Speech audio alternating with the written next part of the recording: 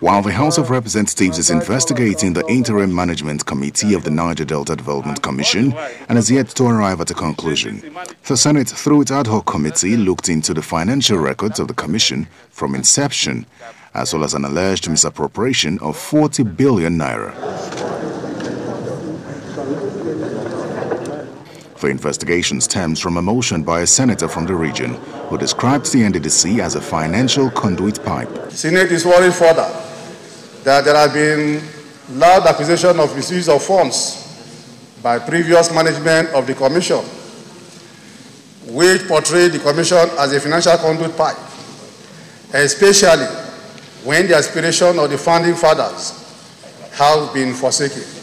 After several hearings and submissions from concerned parties like the Central Bank, Auditor General, Ministry of Finance, governors of the nine NDDC states, as well as past and present management of the NDDC, among others, the Senate committee came out with a 118-page report containing 17 recommendations.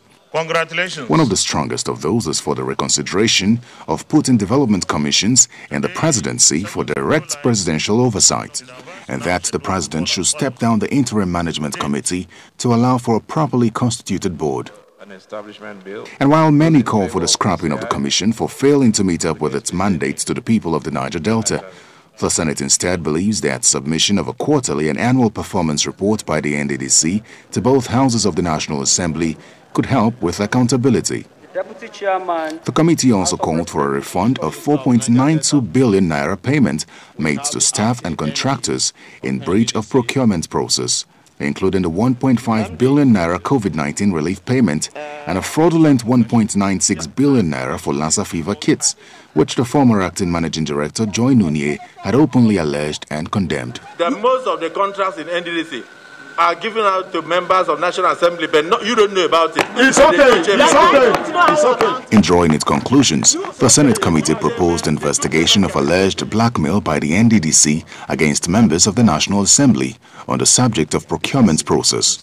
The subject matter has caused divided opinions on the authenticity of the National Assembly probe, which was made very evident during the hearing with the Minister of Niger Delta Affairs, leading to subsequent release of names of lawmakers alleged to have so far benefited from the NDDC contracts.